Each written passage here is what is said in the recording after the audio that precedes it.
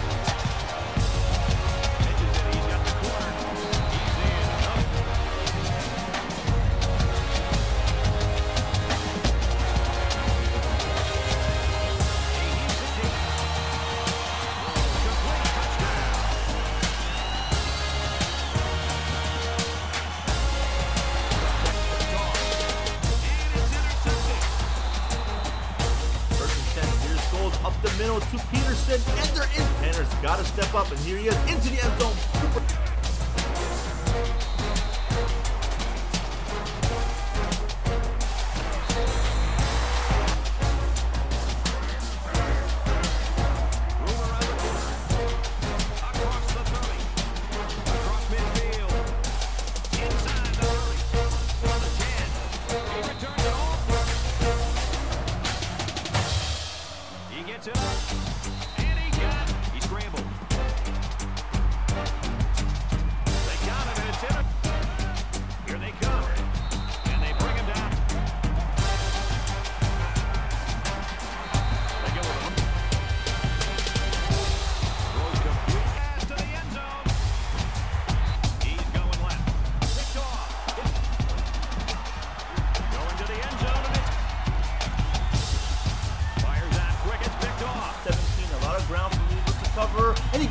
off by true freshman middle linebacker Harris.